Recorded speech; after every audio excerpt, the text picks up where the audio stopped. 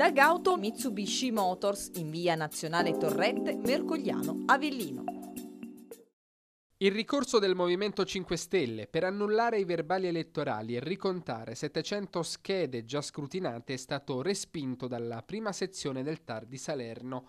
La giustizia amministrativa conferma in primo grado in attesa di possibili ricorsi al Consiglio di Stato il risultato venuto fuori dalle urne nel giugno scorso, ballottaggio compreso.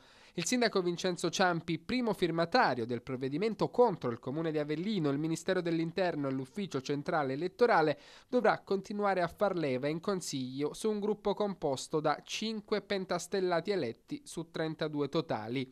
Ciampi potrebbe naturalmente avere il supporto di quanti condivideranno singoli provvedimenti proposti da un governo comunque di minoranza. Le ragioni dell'inammissibilità del ricorso saranno rese note con il deposito delle motivazioni che saranno scritte dai magistrati giudicanti Riccio, Monica e Fontana.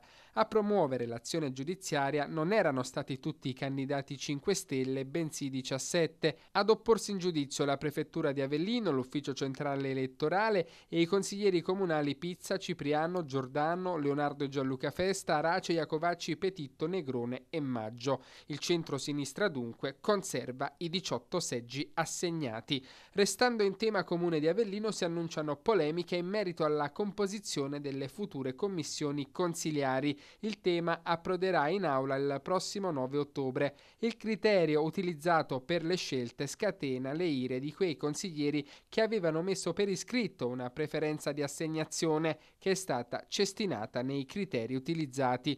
Ma che senso ha litigare per commissioni che in caso di sfiducia sono destinate a sciogliersi anch'esse e, in caso di proseguimento dell'amministrazione Ciampi, non determineranno scelte condivise, non essendoci maggioranza e minoranze chiare e costituite, ai posteri l'ardua sentenza. All'aula martedì prossimo il dibattito. Il Movimento 5 Stelle continuerà ad occupare 5 seggi su 32, il centro-sinistra 18 con il premio di maggioranza, ma gli scontri di questi tre mesi hanno detto che il tema vero resta quello dell'ingovernabilità del capoluogo.